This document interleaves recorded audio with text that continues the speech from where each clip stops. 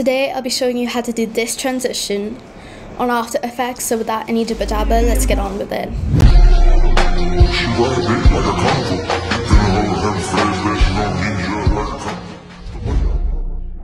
Guys, I am so sorry, okay?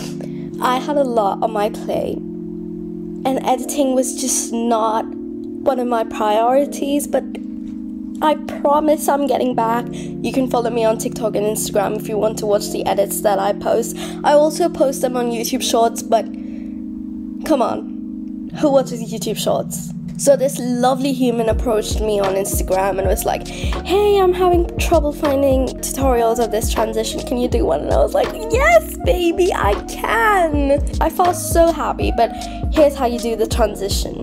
For this, you need 8 photos. Create a new composition with the composition settings being 1080 each with frame rate 30. Duration, it depends on your edit. I'm just showing you this transition so I'm just keeping it 13 because, well,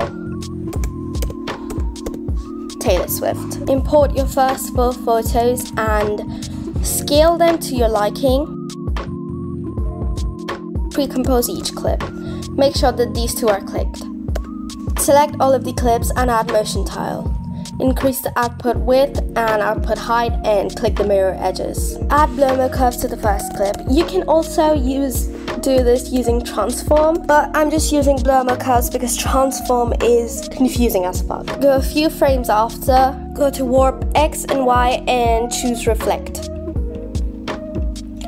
Click the stopwatches in front of Shift X and Shift the Y go a few frames after. Increase the shift X and shift Y so it's diagonally displaced.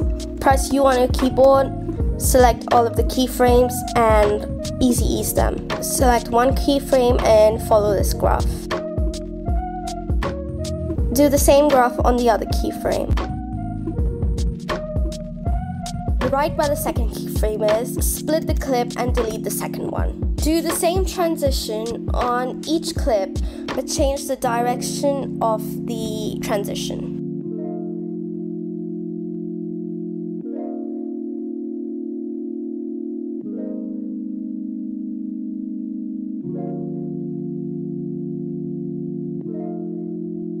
There is no hard fast rule that you need this clip to go in this direction, you can change it, but I'm doing it so all of them kind of converge in the center. Pre-compose each clip.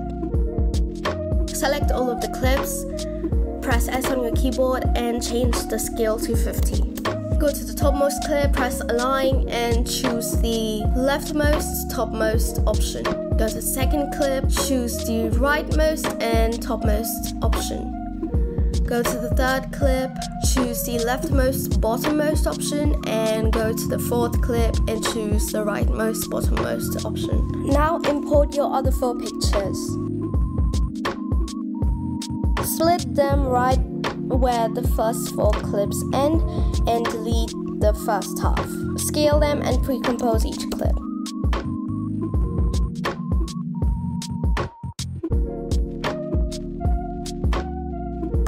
Tile to all of them. Increase the output width and output height and click the mirror edges. Go to the first clip, add blow-mo curves. And depending on the position you're gonna keep your clip in, do the same transition as the clip before that, but in the opposite way. For example, I'm gonna keep the first clip here in the top left corner.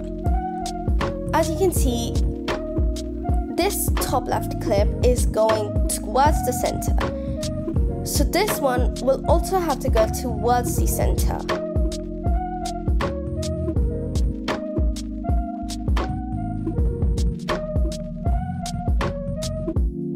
Easy ease the keyframes and then copy this graph.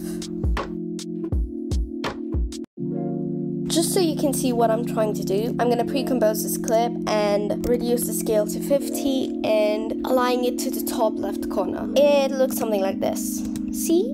That is what I'm going for. It looks weird, I know, but trust the process, guys. Do the same transition with every clip.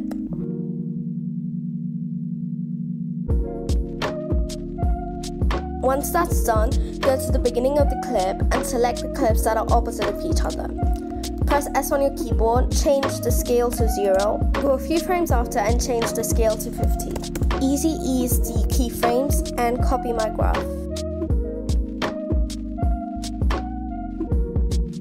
Copy these keyframes and paste them onto the other two clips. Select all the clips and press the motion blur. Select all the clips and then pre-compose them. Now you can add more effects which add the finesse to it. I'm gonna do that and I'm gonna show you how it can look. In the end, it will look something like this. Here is another example of how it can look. I am sorry if it's not up to your expectation, but believe me, if you do it in your own way, it will look way better. I'm just not good at simple transitions. Thank you for supporting me all this time. We're done.